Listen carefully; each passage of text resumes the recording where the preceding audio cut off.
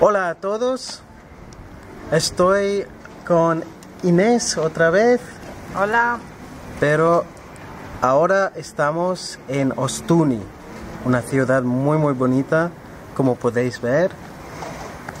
Tenemos el mar en el fondo. La ciudad blanca de la Puglia. Apulia es una región muy bonita, es el taco de la Italia. Sí. Y esta ciudad sobre todo es preciosa. Sí, sí, interesante sus calles. Claro. Como es, estrechas y toda blanca, toda iluminada del sol hoy día. Siempre. Y hoy queremos hablar de un, tema diferente para cambiar, para no hablar siempre del aprendizaje de los idiomas. Sí. Y entonces hemos, eh, hemos decidido hablar un poquito de la comida.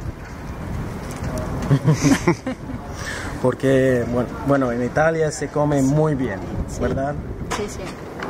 Italia tiene su eh, historia gastronómica, región tiene una comida diferente y especialmente aquí en Puglia, en Puglia está la comida mediterránea que es muy buena y invito a todos a, a probar porque al inicio, cuando yo hace 12 años llegué a Italia, eh, ha sido muy difícil. Sí, fue complicado al, principio. Sí. Pero ahora estás acostumbrada. Acostumbrada, cocino, como me encanta. Cocinar, sí, hacer nuevos platos, sí, la pasta. Eh, me gusta probar eh, platos diferentes, ¿no? y platos típicos de, la región. Las orequietas con uh de rapa. Sí. Hoy día... acabamos de almorzar y hemos comido muy bien, ¿verdad? Sí, se come muy rico aquí en Ostuni, en, todo, en todo el sur de Italia. También en el norte hay platos muy ricos. Sí. Eh, al inicio a mí no me gustaba el gorgonzola. Porque es muy fuerte. Es un queso muy fuerte. pero ahora te gusta. Te gusta mucho más. Muy bien. También, también la chuga, el caperi, estos sabores que en Latinoamérica no, no, se encuentran. Hay otros sabores que nosotros, el pescado, por ejemplo, le, ponemos muchos condimentos, ponemos muchas especias y aquí en Italia es es puro, lo cocinan sin tantas especias, sin hierbitas, coriandro, eh, se, come muy bien. Pero echaste menos de vez en cuando la comida típica de tu país, que es Ecuador. Sí, eh, me gusta cocinar eh, el, arroz. El arroz se come mucho ¿no? en, esta, en esta parte del mundo en general. Sí, es como nuestro pan, diario. Lo comemos el arroz acompañado siempre de la carne, del pollo o de la carne de... Ah, sobre todo el pollo. Sí, sobre todo el pollo. ¿El pescado?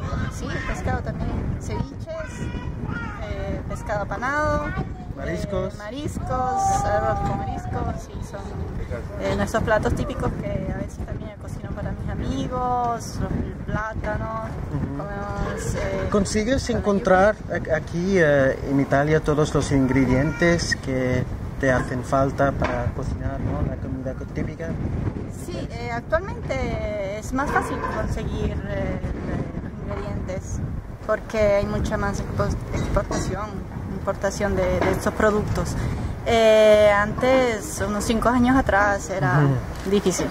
Me alegro. Sí. Me alegro mucho porque hay que probar ¿no? la comida. Sí, eh, eh, a los italianos les gusta, ah, no les gusta probar mucho comida extranjera, es verdad, porque tienen una cultura muy buena de la comida italiana, la mejor, pero tienen que probar porque cuando viajas, eh, si pruebas la comida del puesto, conoces hasta las personas Sí, sí. conociendo. Sí, sí. Porque el turismo está creciendo en esta región Sí, y también el tema de gastronomía y la degustación del vino. sí, ¿No? sí. Yo trabajo, pero para una eh, Em- empresa, empresa muy, muy, impor- importante, muy importante aquí. Sí. en Brindisi, como Nute Rubino. Y en nuestra vinoteca hacemos eh, los platos que van acompañados siempre para la degustación del vino. Es un poquito como en España, ¿no? Tapas. ¿no? Sí, como, hacemos eh, las tapas tipo el aperitivo, Sí. que se llaman en Italia, eh, con platos típicos de, de la región, Ujú. ¿sí?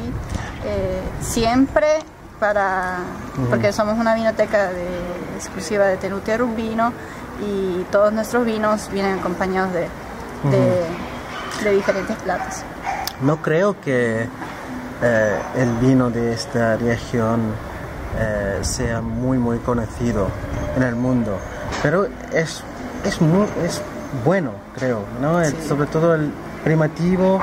Primitivo, ahora tenemos eh, como en la región Salento primitivo, eh, negro amaro, También. sí, Ujú. eh, malvasía, eh, vino bla- blanco.